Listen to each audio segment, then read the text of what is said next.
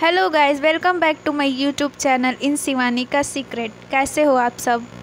आज मैं आपके साथ शेयर करने वाली हूँ अपनी टॉप सीक्रेट में से एक सीक्रेट जो बिल्कुल नेचुरल है, जो आपको नेचुरली ब्यूटीफुल बनाएगी।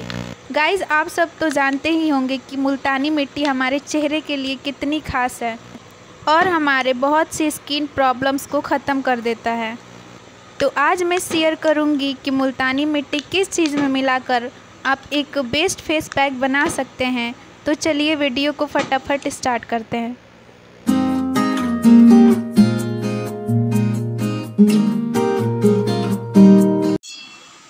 यहाँ मैं ले रही हूँ कच्चा दूध। अपने चेहरे के हिसाब से गाइस यहाँ आपको मैं क्वांटिटी नहीं बताऊँगी। आप अपने हिसाब से ले लेना। यहाँ मैंने लिया है मुल्तानी मिट्टी। इसको मैंने लोकल मार्केट से लिया है। ये आपको इजीली लोकल मार्केट से मिल जाएगा। ये हंड्रेड परसेंट नेचुरल है केमिकल वगैरह कुछ नहीं है, बिल्कुल नेचुरल मुल्तानी मिट्टी है।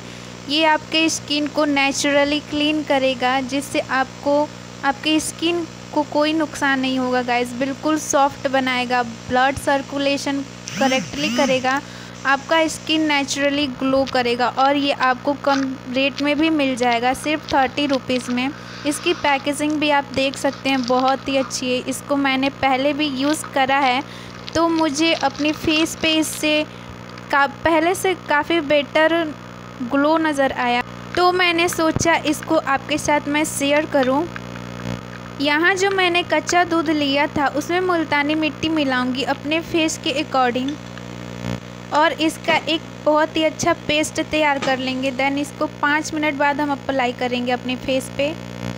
मैंने अपने चेहरे को अच्छे से फेस वाश से क्लीन कर लिया है और इसे मैं अपने पूरे फेस और गर्दन तक अप्लाई करूँगी अपने हाथों से ही। आप चाहो तो ब्रश से भी अप्लाई कर सकते हो, लेकिन मैं यहाँ अपने हाथों से ही करूँगी, क्योंकि मुझे ज़्यादा बेटर कंफर्टेबल लगता है। दूध में समाये सारे पोषक तत्व तो बेहतर तरीके से स्किन में समाते हैं, जिससे स्किन मॉइस्चराइज होगी। और मुल्तानी मिट्टी हमारे फेस के लिए बहुत ही हेल्पफुल होता है गाइस जो फेस से पिंपल्स को हटाता है टैनिंग को दूर करता है झुर्रियों को हटाता है यह स्किन को नेचुरली रूप से ठंडा करता है डेड स्किन को भी हटाने में मदद करता है. और अगर गाइस आपका स्किन ऑयली है तो ये आपके चेहरे के लिए बेस्ट फेस पैक है. यहाँ आप मेरे फेस पर जो नेचुरली शाइनिंग और नेचुरली जो ग्लो देख रहे हैं, उसे आप भी अपने फेस पर ला सकते हैं। बस इसे हफ़्ते में दो या तीन बार लगाएँ। यहाँ मैंने रात के टाइम पैक यूज़ किया है तो मैं सिर्फ़ टोनर यूज़ करूँगी, गुलाब जल का।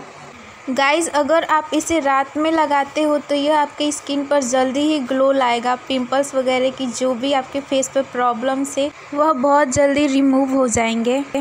आई होप कि गाइज़ मेरी ये वीडियो आपके लिए हेल्पफुल होगी। अगर आपको मेरी वीडियो पसंद आई हो तो वीडियो को लाइक करें शेयर करें और सब्सक्राइब करें ताकि मेरी वीडियो की नोटिफिकेशन सबसे पहले आपको मिले। और कोई भी क्वेश्चन हो तो गाइज़ कमेंट सेक्शन में ज़रूर पूछें। Bye bye